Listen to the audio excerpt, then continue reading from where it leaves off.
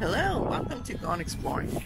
Today we are in Cape Cod in Dennis, and we're going to a place called Cuffy's. And um, since we're super touristy and we love touristy souvenir stuff, this is like the place to be. So, so they're planning an expansion, as you can see. We'll have like a little boardwalk type of thing with lots of little stores.